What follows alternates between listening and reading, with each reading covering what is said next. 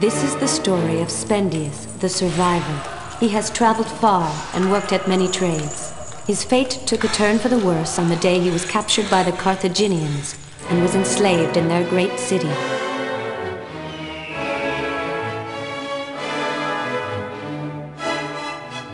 Superb are the temples that rise at the heart of the city, in the sacred precinct.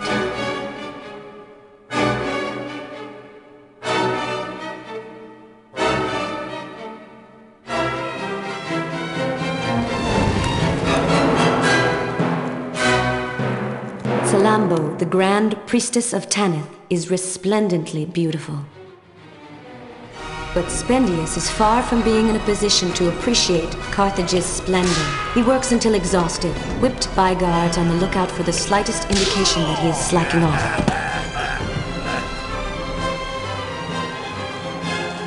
Seemingly forgotten in a secret dungeon, Spendius curses his fate. He would do anything to gain his freedom.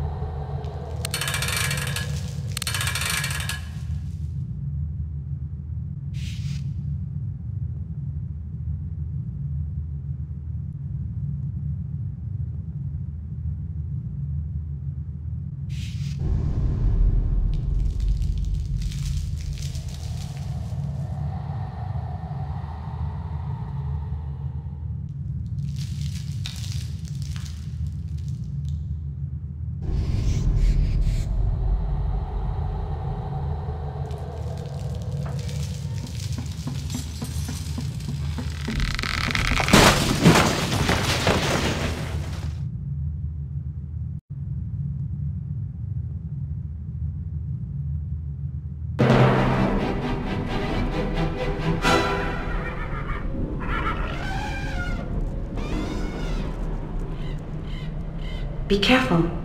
The sacred precinct is crawling with soldiers. If you are caught, you will be crucified. There is no pardon for escaped slaves.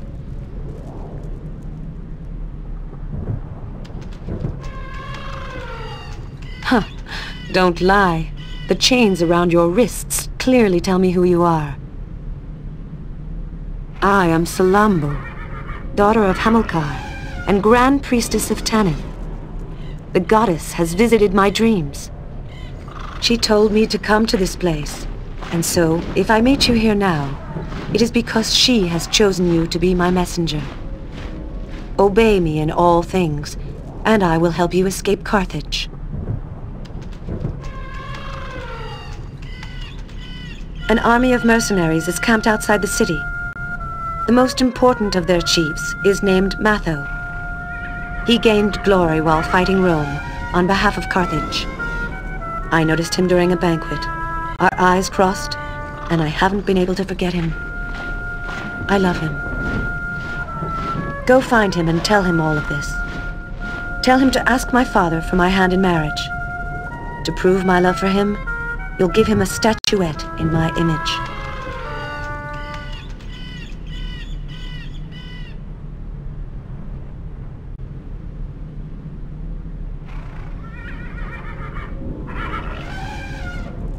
You're suspicious. Ask your questions and I'll answer them.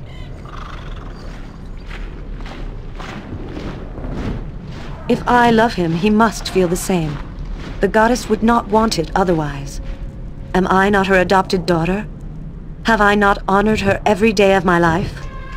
How could she allow me to love, unrequited? A grand priestess of Tanith cannot leave her temple nor set aside the rites. I have strict rules to follow.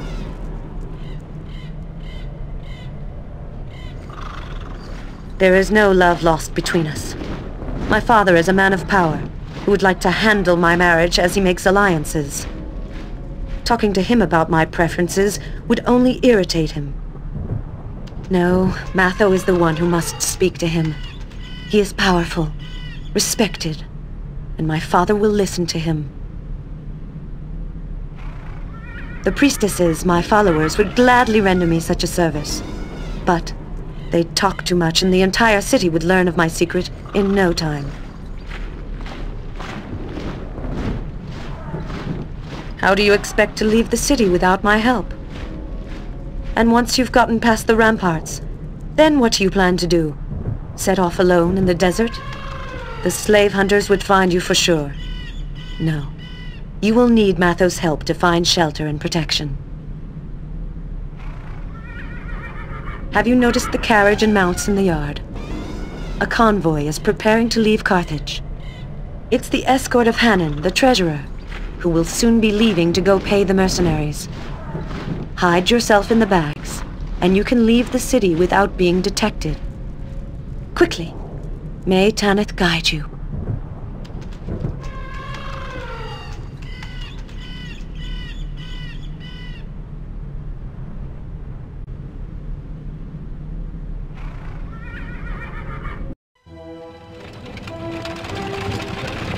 Following Salammbo's advice, the fugitive hides in Hanan the Treasurer's bags. This ruse makes it possible to leave the sacred precinct and then the city without being stopped.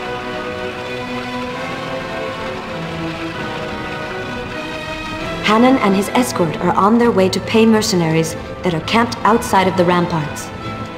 These men served Carthage during a lengthy war with Rome that was eventually lost. They are impatiently waiting to receive the money that is still owed them.